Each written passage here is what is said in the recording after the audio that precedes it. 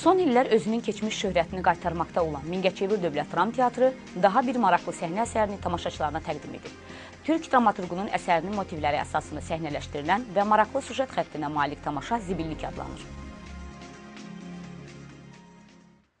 Mingəçevir Dövlət Dram Teatrı Türk dramaturqu Turqay Narın əsəri əsasında səhnələşdirdiyi Zibillik adlı yeni tamaşanın premyerasını keçirib. Mehman Musəbəylinin tərcüməsi əsasında hazırlanan tamaşa rejissor Baqib İbrahimoğlunun xatirəsinə həsr edilib. Bir hissəli psixoloji dram əsərinin sujet xətti yuxu yozmaları əsasında qurulub. Əsərin baş qəhrəmanları İsrafil, Xaço və Ayməlik adlı gənclərdir. Hadisələr də məhz bu gənclərin ətrafında cərəyan edir. Gənclər zibillikdə yaşayırlar. Onlar həyatda qalmaq və yaşamaq uğrunda mübarizə aparırlar. Tamaşanın rejissoru Günay Səttarın fikrinə gəlincə isə Zibillikdə baş verən 3 nəfərin həyatından bəhs, bəhs olunur ki, zibillikdə yaşayırlar və zibil ə,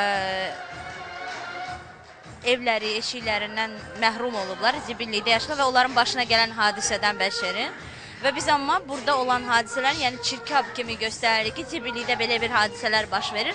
Amma nəticə bizdə başqa cürdür. İnşallah görəndə görəcəksiniz ki, yəni hasil olaraq insan zibillikdə yaşamamalıdır. Qeyd edək ki, faciəvi sonluqla bitən tamaşada rol alan gənc aktyorlar hər bir obrazın xarakterini peşəkarlıqla təqdim ediblər.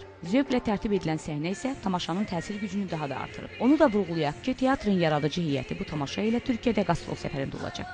Elnarə Nərman qızı, Ramin Ələsgərov, LTV Mingəçevir.